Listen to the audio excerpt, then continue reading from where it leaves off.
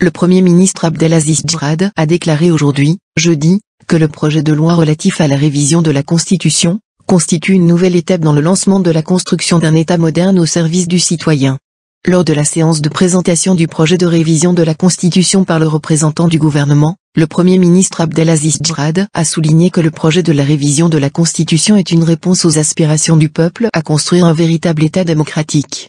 Il a ajouté, cette Constitution permettra la création d'une vie publique et politique, préviendra la corruption, dissuadera ses auteurs et tarira ses sources en évitant les abus d'influence.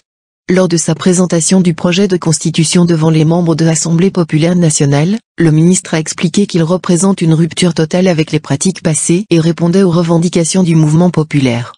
Djrad a souligné que le projet relatif à la révision de la Constitution est consacré à un État qui sépare l'argent de la politique et lutte contre la corruption.